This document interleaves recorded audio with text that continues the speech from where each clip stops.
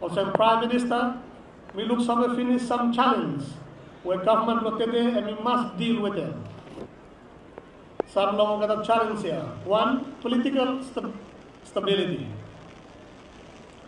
One main requirement, long cut progress, long sustainable economic development, and with long cut good fala, consistent policy, more application long Political stability, more political will, and one main requirement, long one country and achieving development objective long And here meaning say political stability and one mass long Vanuatu. Suppose you may want them progress. The intention long government of today, long build long all political reforms where all past government only been started.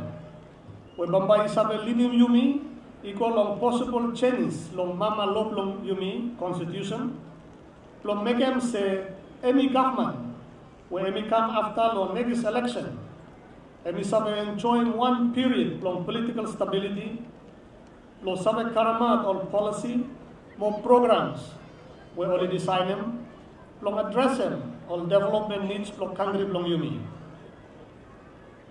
One direct result long political instability, and we cost long political machinery, we start kuanda through long we pass, and we high to mass.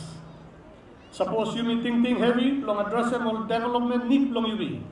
Then you must cut them down, machinery, long make them say, be more efficient, accountable, more effective, with them all good output, long cut them down all wastage.